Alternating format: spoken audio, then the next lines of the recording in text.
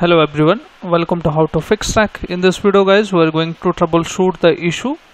The user profile service failed. The sign in user profile cannot be loaded. So how to troubleshoot this issue? I will show you 3 to 4 steps to troubleshoot this issue easily. So first of all guys, I should suggest you and I should tell you why you are facing this issue. So this issue comes guys if your current profile is corrupted so we need to repair that profile into the safe mode so let's start without wasting our time step by step. So step number one we need to access the advanced screen guys. So you need to hold the shift key on your keyboard. Just press and hold the shift key. And once you press the hold and shift key you need to click on this restart options and click on restart and keep holding the shift key until you get this screen blue screen here now you will see please wait options. So keep holding the shift key and until you get the automatic repair options there. And from there we will repair our windows profile corruptions. Now you can release the shift key guys. So in here we need to click on troubleshoot. Now we need to click on advanced options. Now in here guys we need to click on this option which says startup setting now click on restart option here. We are going to boot into the safe mode. Now you need to press F4 or 4 on your keyboard to enable the safe mode option okay?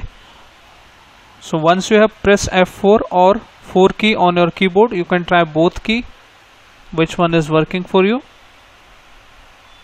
Now we need to wait here and we are going into the safe mode if you are able to you should able to access the safe mode screen guys. If not I have the fix for you also. Now put the password if you have. Now we need to open the command prompt.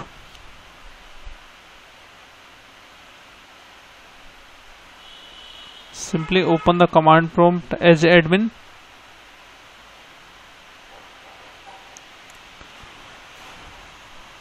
and each profile on your windows has a unique SID number. So we need to hit the command in order to get the SID number of that profile. So we need to type a WMIC user account space get space name comma SID and hit enter.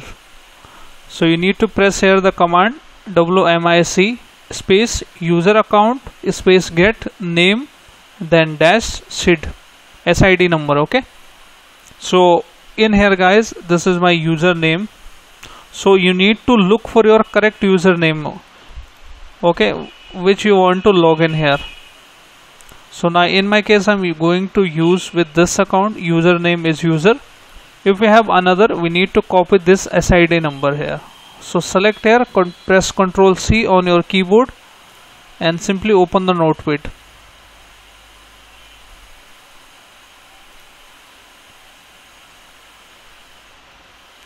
so once you have opened the notepad just minimize the cmd also. Now we need to go to this option. File explorer open that and we need to go to the this PC okay and we need to go to the C drive here. Now open your users folder. And in here guys you will see the list of users available on your computer.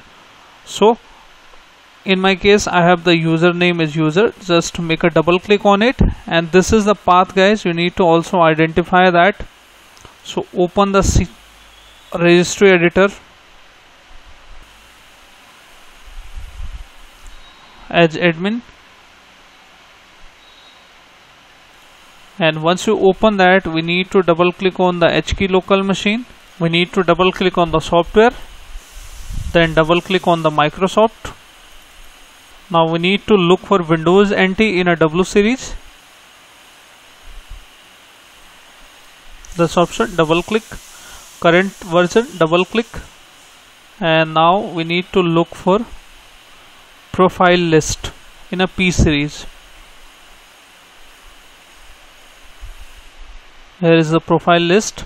Now expand it.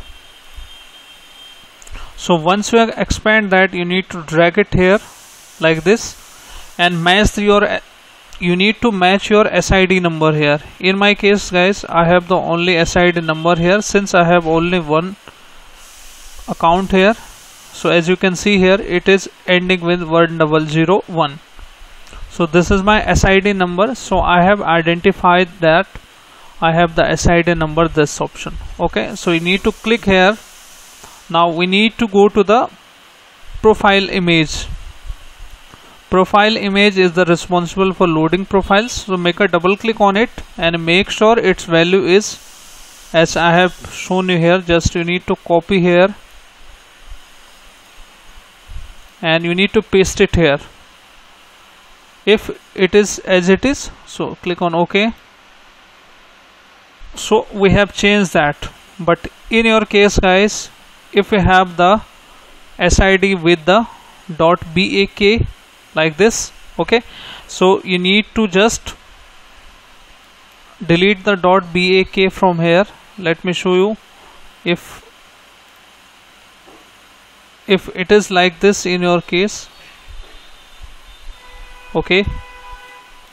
This option you need to right click and simply rename it and remove the dot .bak and hit enter so once you hit enter you just need to restart your system here and simply your issue is going to fix. But if you have guys like one is with this and another with the BAK like this. If you have two folders here with the same SID number with the one is .bak and another one is with without BAK so you need to simply right click on the without BAK folder and simply you need to delete that. Okay you need to delete that without BAK and with the BAK folder you need to rename it and change it to like this. Okay you need to change it like this way and delete this option the first option and remove the BAK from the this SID number. So I hope you have understood that. So once you have done that also make sure the profile image is this the same you have account. So once you have done that you need to restart your system and check if it fixes your issue or not. If you have still issue guys just cross this out. And we need to go to this drive this PC C drive and in here we need to look for the users. And we need to look for default folder. So go to view default user and tick this option hidden items. Now default folder is showing now. You need to right double click on it. And we need to rename the nt user dot dat this is the user data profile. So we need to right click and simply rename it with the we need to rename before dot dat so once you have done that you need to go back here and double click on your username and copy this dat dat folder and simply paste into the default profile so if you are able to copy and paste it here so your issue is going to fix now. You just need to restart your system guys from here. Simply restart your system in a normal mode and you are good to go. Your issue should fix now. Now also guys we need to make sure that the services of user profile are running here. Simply open the services